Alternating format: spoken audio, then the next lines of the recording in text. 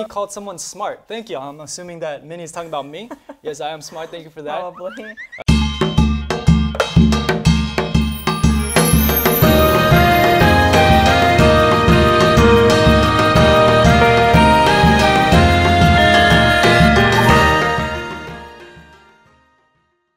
Hello, everyone, and welcome back to Korean Rhapsody Season 2. I'm your host, Justin. And I'm Stephanie. Yeah, so welcome back. We have another amazing show in store for you all today.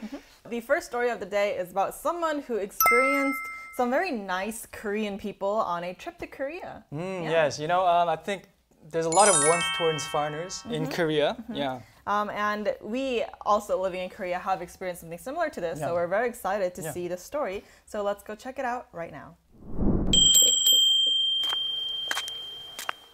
Oh no, a foreigner? What do I do? I, I can't speak English? Wait, my son can speak English. Let me ask him. Hey, Dad. Son, there's a foreign customer here. It's hard for me to understand what she's saying. Can you translate for me? "Oh, of course, let me speak to her. Hello? Hi, uh, which medicine are you looking for? Uh, so I have allergic rhinitis, so I need medicine that I can eat. Oh, edible allergic rhinitis medicine. Okay, got it. Could you pass the phone back to my dad, please? Dad, she needs edible allergic rhinitis meds. Oh, for rhinitis. Okay, I got it. Thank you. I was so grateful to the pharmacist and his son that day. Even though I spoke English because I couldn't speak Korean, he did his best to find the medicine I needed. I was so touched to see when Koreans see foreigners in trouble, they do their best to help. When you face difficulties in Korea, if you ask anyone, I'm sure they'll kindly let you know. Thank you for listening to my story. Yes, that was adorable. Uh, I'm so happy that this story sender sent it to us. It was one of you all. Thank you so much for the story. Minnie called someone smart. Thank you. I'm assuming that Minnie is talking about me. yes, I am smart. Thank you for that. Probably. Uh, Cassie mentioned that you, you look stunning today, Thank Stephanie. you. Yeah. Cassie Cute says, so cute. When I went to Korea, I took many taxis and I talked to all of them more grown up men, right? Mm. Yeah. The taxi drivers. Yeah, they're usually older men. Right, with my English slash Korean, and they were all so kind, and I had a great experience. Yes. Mm. yes, they're really nice to foreigners in a lot of cases. Now it is time to listen to our first song of the day. Can Yes. you explain which song it is? So, you know, um, I think the story that we just heard, uh, the foreigner was kind of uh, helped out by this Korean, right? This Korean person. And, you know, in Korean, uh, lighthouse keeper is actually 등대 지기. Mm -hmm. 등대 is lighthouse and jigi jigi uh, means guard, right? right? Means guard, I believe. Yeah, so 등대 지기 is a lighthouse keeper. And you know, lighthouses, the main purpose is, you know, during a storm mm -hmm. or at night when there's foggy weather, ships can't really navigate that well, so they can gain their bearings by seeing the, uh, the lighthouse's bright light mm -hmm. through the storm, and they can kind of avoid any kind of rocks or cliffs or the shore, and, you know, hopefully dock safely. So since the Korean helped the foreigner out kind of like a lighthouse keeper, I thought we can, I could share a song titled hmm. Lighthouse Keeper. So let's all listen to this song together right now.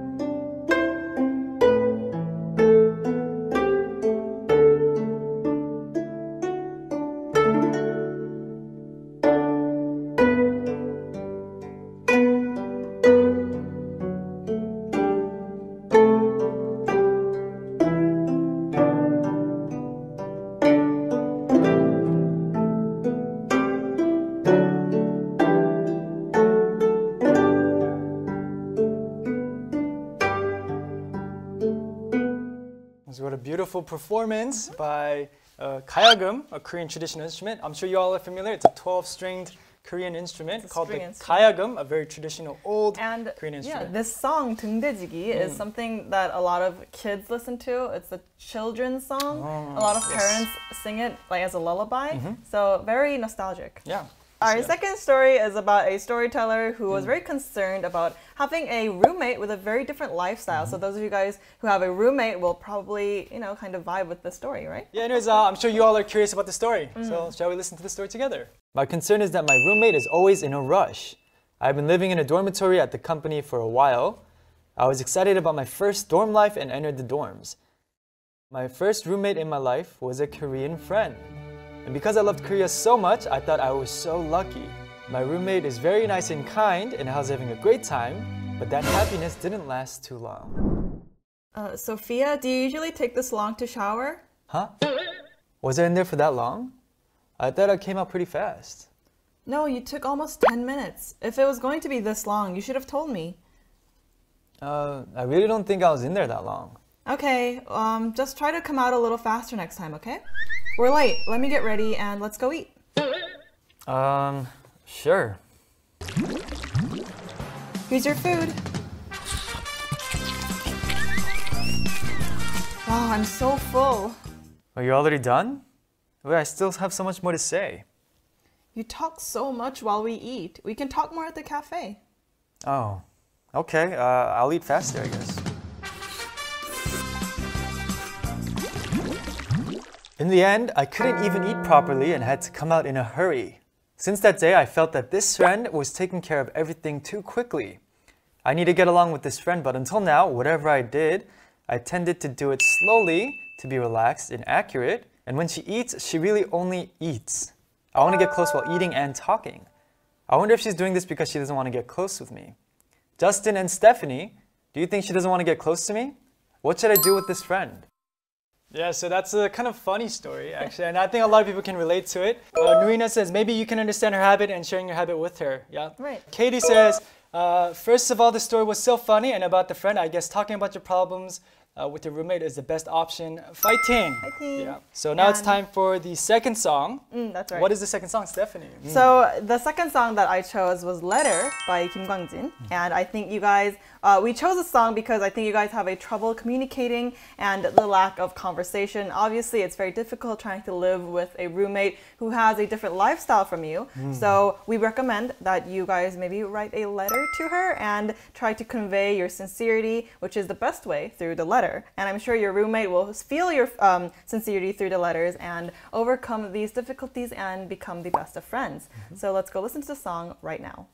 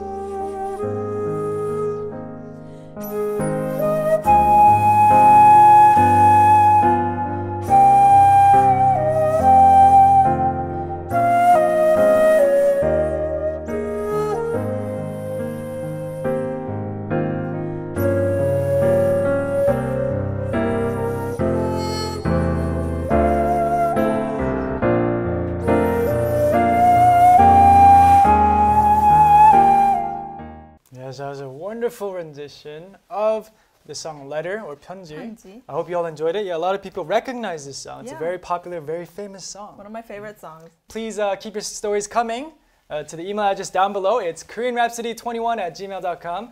KoreanRhapsody21 at gmail.com. Batteries not included, as they say in advertising. Yeah, exactly. Call now. Yeah. So please uh, keep sending us your stories. Uh, thank you so much once yeah. again. I think it's time to say goodbye. Yeah, we'll be waiting for your stories with open arms, mm -hmm. and we'll see you next week. See you next time. Bye.